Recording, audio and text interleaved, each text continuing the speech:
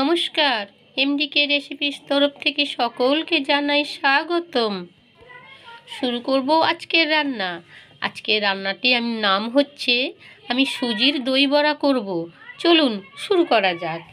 এখানে আমি এই সুজি, যে যতটা করবেন, যতটা খাবেন, পরিমাপটা সেরকমই। এখানে আমি এই সুজির চার চামচ দিয়ে দিলাম। আর দেবো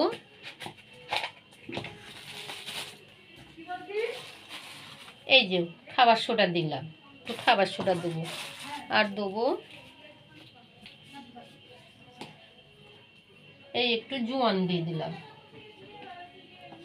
আর দেবো স্বাদ অনুযায়ী নুন। এগুলোকে একসঙ্গে মিশিয়ে নিই।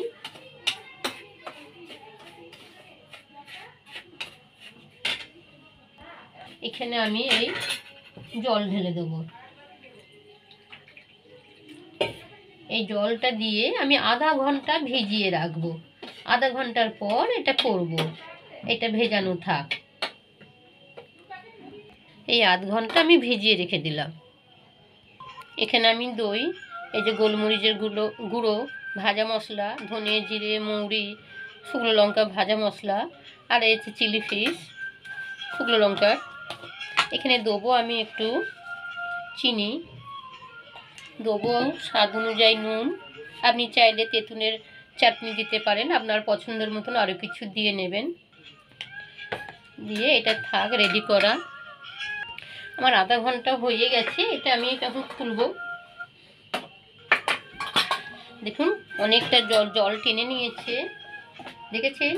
জল ভালো মতন টেনে নিয়েছে।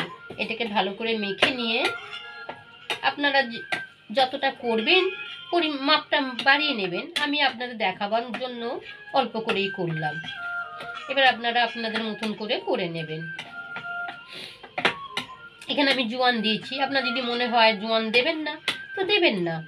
জোয়ানটা দিয়েছি, টেস্টটাও ভালো হবে। গন্ধটাও ভালো লাগবে। আমি ভালো করে মেখে নিয়েছি।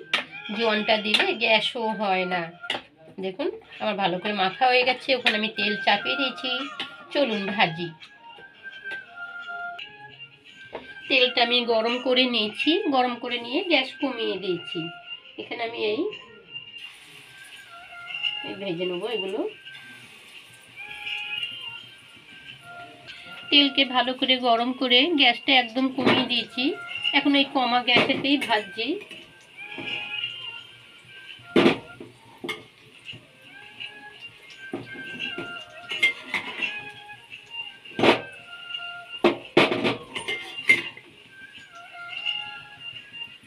আমার এগুলো ভাজা হয়ে গেছে।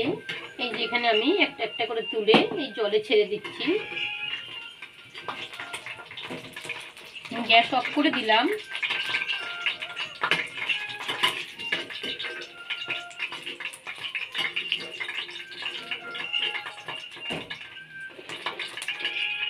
সব কটা আমার তোলা হয়ে গেছে। জলের মধ্যে একটু থাক।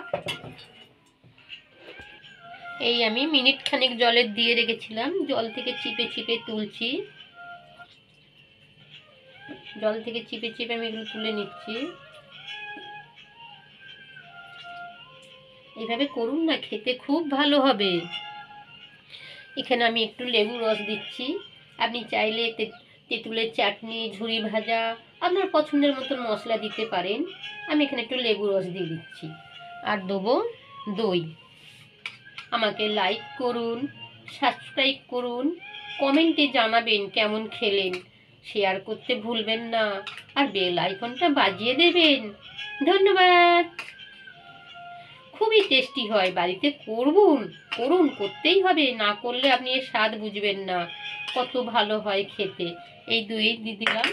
আর দেবো আমি এখানে একটু এই চিলি ফিশ দেখুন, কত সুন্দর হলো। অবশ্যই বাড়িতে করে। কবে আমাকে জানাবেন? খুব সহজেই হয়েছে গলাটা আমার আমার একটু ঠান্ডা লেগেছে, গলাটা ডিস্টার্ব করছে। সরি আমাকে ক্ষমা করুন। খুব সহজই হয়ে যায়, কিন্তু বাড়িতে অবশ্যই বানাবেন। হুম?